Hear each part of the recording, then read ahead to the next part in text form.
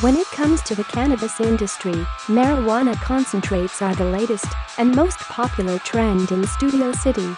Concentrates is a general term that refers to anything that is extracted from the cannabis plant.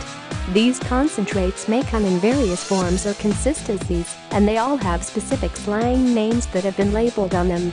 Shatter is an example of a marijuana concentrate that is quite common.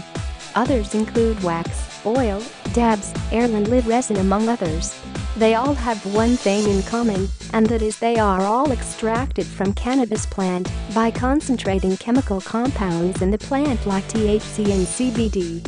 These extracts can yield up to 80% in terms of THC content.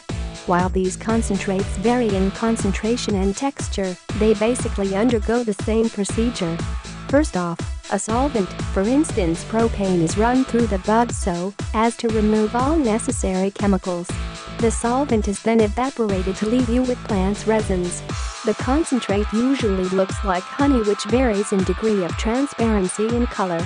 While the concentrate is warm, it looks like thick honey, while when it is cold, it looks like glass.